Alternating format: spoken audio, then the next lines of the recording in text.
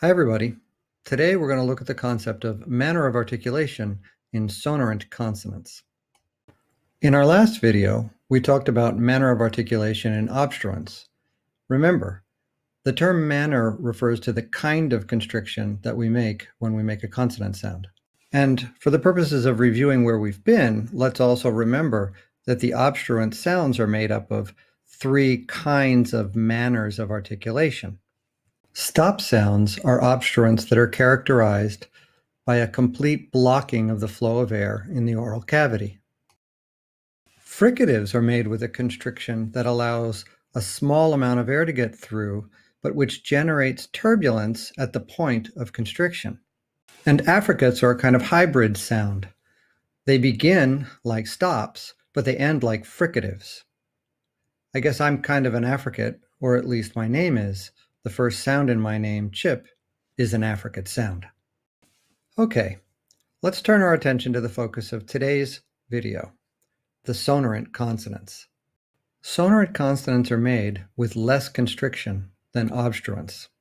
A useful way to think about this is to visualize consonants as lying on a continuum running from the most constricted to the least constricted consonants.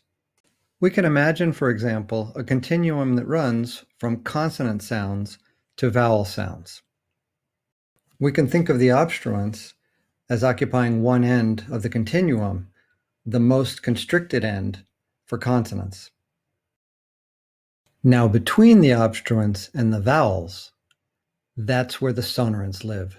As with the obstruents, there are different classes of sonorant sounds. We'll start here with the nasals. Nasal consonants are sometimes also called nasal stops. This is because when we make them, we make the same kind of constriction in the oral cavity that we make for oral stops. In other words, we make the same oral constriction for the nasal M as we do for the oral stops P and B. They're all bilabial, and all three completely block the flow of air at the lips. What makes nasals different from oral stops is that when we produce nasal sounds, we allow air to escape through our nose. So here's a picture of what's going on when we make a nasal consonant. In this case, we're looking at the production of the nasal sound N. There are two important things to notice in this picture.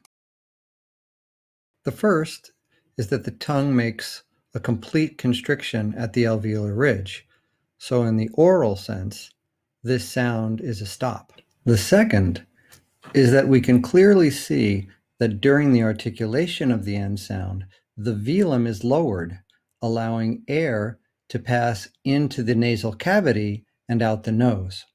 The key difference between an oral stop and a nasal stop can be seen clearly if we put pictures of each side by side for comparison. Here we see an N on the left and a T on the right. While both require the same alveolar constriction in the mouth, we can see that the velum is lowered for N, allowing air to pass into the nasal cavity, while the velum is closed, that is, the velum is raised for T, preventing air from passing into the nasal cavity. English has three nasal stop phonemes. We've got a bilabial nasal M, we've got an alveolar nasal N, and we've got a velar nasal, which we call engma. The IPA symbol is given here. Engma is the last sound in words like sang. Let's turn now to a class of sounds that linguists refer to as approximants. Approximants get their name from the approximation of two articulators that form a constriction that isn't quite close enough to generate turbulence of the kind that we find for fricatives. We'll discuss two classes of approximants here, the first of which are known as liquids. Liquids come in two flavors, laterals and rhotics. Both of these are probably unfamiliar terms, but don't be intimidated. For our purposes, think of laterals as L sounds and rhotics as R sounds. What does it mean for a sound to be a lateral sound? Well, the answer lies in the word lateral, because when we make lateral sounds, we allow air to flow down one or both sides of our tongue.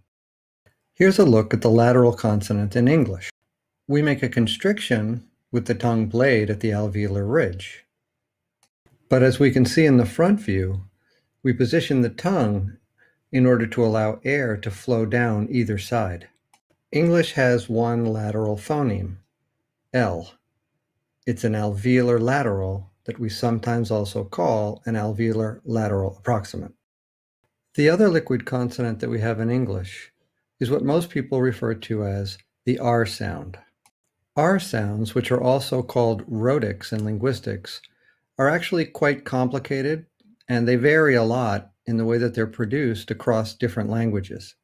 For the purposes of this video, we're going to keep it simple.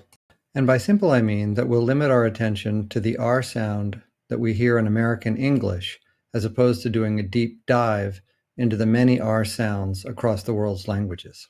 The R in American English is what's called a retroflex sound. Retro what? Retroflex. We make retroflex sounds by curling our tongue tip up and back. Our retroflex R is made by curling the tongue tip back towards the hard palate. And if you think about how you make an R sound, you'll probably also notice that you're rounding your lips at the same time. The R in American English can be described as a palatal retroflex or a palatal retroflex approximant. Here's its IPA symbol. It's an upside down R with a rightward pointing tail. We've now arrived at the glides, the last stop on our manner of articulation journey. Glides are also sometimes called semivowels, and English has two of them. The first is what people think of as the Y sound in words like yes, and the second is the W sound at the beginning of words like winning.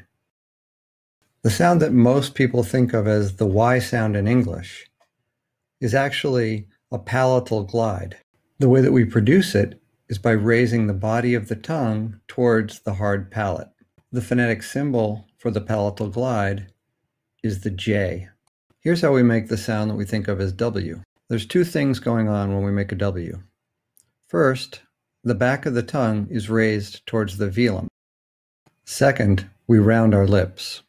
This all means that what W is is a labiovelar glide. Its place is labiovelar, and its manner is that it's a glide. So remember one thing about glides. They're the least constricted of all the consonant sounds.